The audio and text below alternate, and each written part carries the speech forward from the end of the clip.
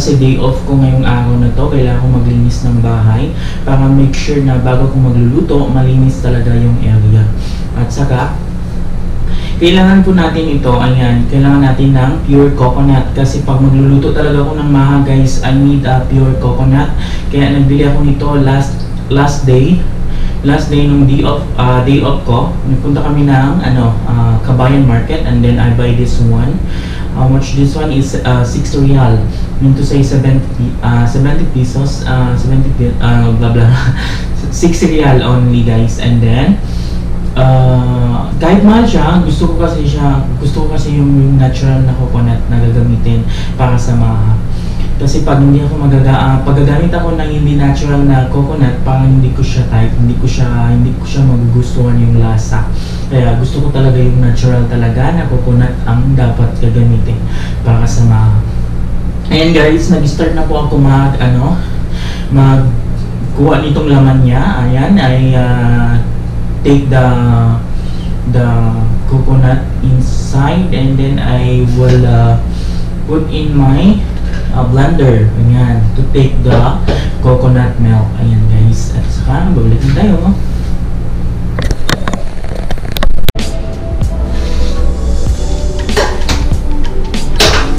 tapos kami i-chop siya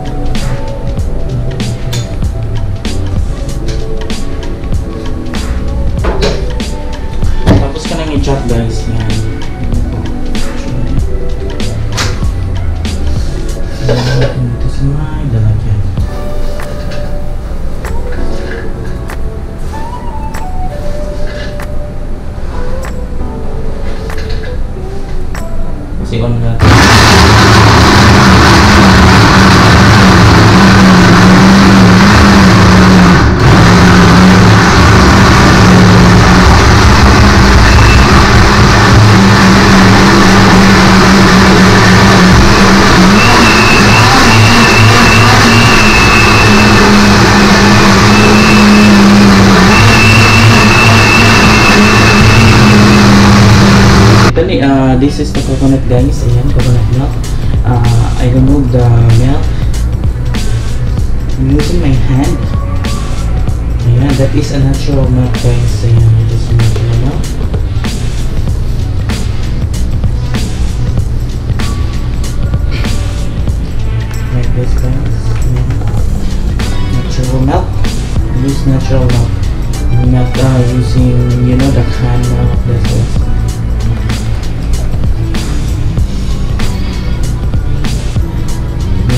using a natural milk to make sure that uh, the, the the the taste of uh, maha is very uh, nice and special and delicious. Ayan, shout out to Delicious Vanilla. Shout out to uh, Gloria Retamora. Shout out to Inday Salala. Shout out to Miss Rose May Halandoni. Ayan. Shout out to Mr. Alan Toledo. Shout out to uh, Miss Catherine. Ayan, si Miss Catherine. Shout out sa iyo. And uh, sino pa? Sino pang members? Ayan, basta mga yung mga kasamahan ko dyan. Shout out sa inyong lahat dyan. Shout out sa mga ka-workmate ko. Ayan, shout out dyan sa Jeddah Vloggers. Ayan, shout out sa inyong lahat.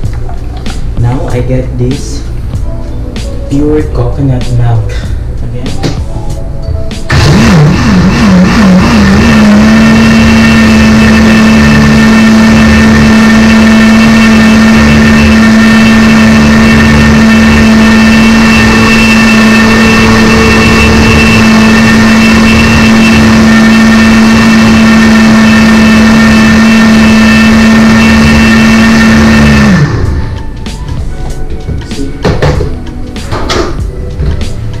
That the one that the second geta.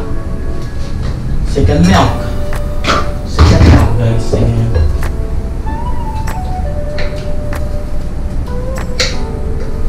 Very hassle but but I like it. Hassle but uh, you know hassle but hassle but I need it. I need it like this. You see? Ayan guys, ready na po ang ating ah, second coconut milk. Ayan, second coconut milk. At meron din tayong first coconut milk guys. Ayan. First na coconut milk kaya medyo sticky ano siya mas mas mas mas ano siya sagad ah, coconut. Mas madami tong coconut. Mas mas masarap to siya ayan. Ah, last na po natin siya ilagay at the end, at the end po, bago natin siya ilagay para make sure na masarap talaga yung coconut. Para lasang lasa ang coconut. At meron din tayong one kind of condensed, condensed milk. Meron din tayong vanilla guys, vanilla. For vanilla this one, for uh, you know, for flavoring, for smell is uh, very good. Ayan. And we have a cheese. This is the last one to place. Also, we have a whole kernel. Ayan, meron tayong whole kernel.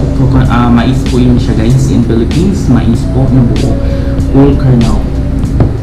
Meron tayong 1 cup, uh, 1 uh, 1 cup of sugar. Meron din tayo, meron din tayong corn corn starch. Ayan, corn flour. Corn starch or corn flour. Ano lang po to siya guys? Uh, 200 grams lang po. Maliit lang po ang lulutuin natin kasi pag madami masyado, hindi naman masarap pag madami, di ba? Kaya ito po ang ating gagawin. Ihalo natin siya dito, itong cornstarch. Ihalo po natin siya dito sa may ganito po yung cornstarch. Ihalo po natin siya dito sa may second na gata, guys. Ayan. One time time ng uh, gunting.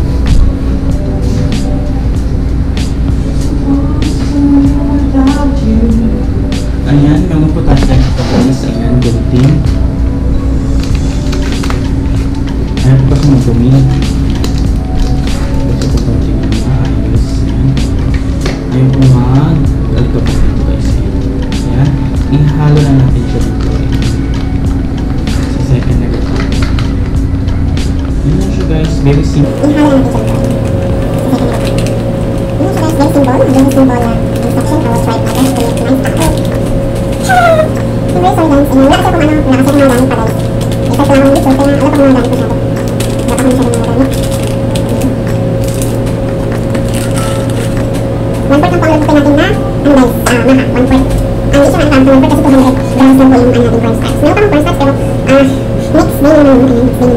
Ayan, pag isahan lang guys, ayan, pag isahan talaga, Спасибо.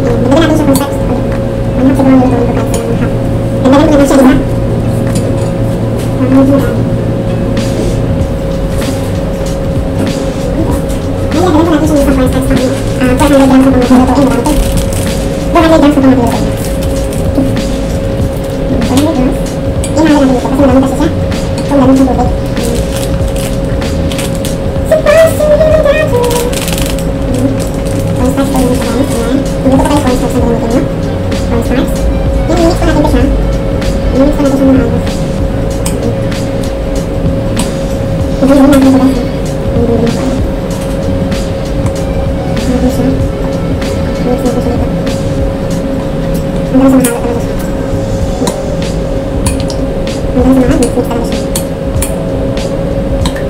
Hmm, kasi hindi siya ma-mix talaga ng ayos, you need to mix this properly. Ayan. Kasi meron siyang buo-buo. Buo-buo ka na. Tapos, pwede din siya ako natin yung ano ha. Din natin ito siya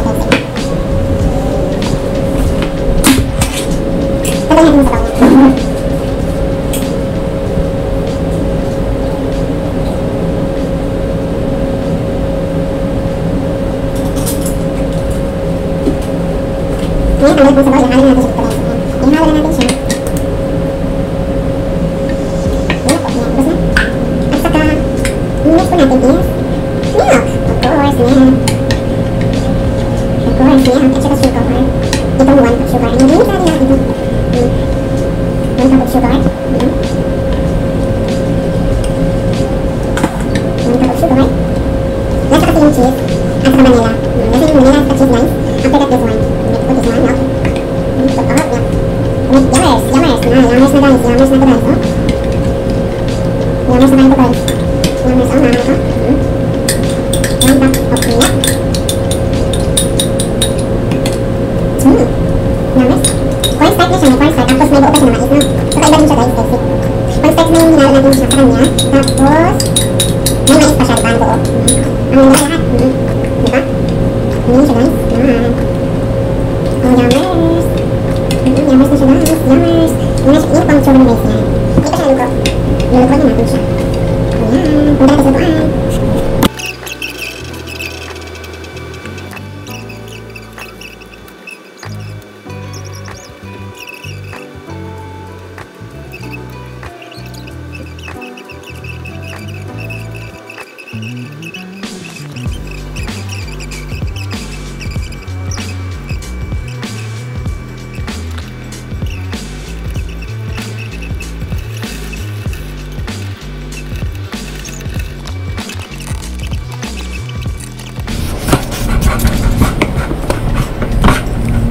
Sehingga.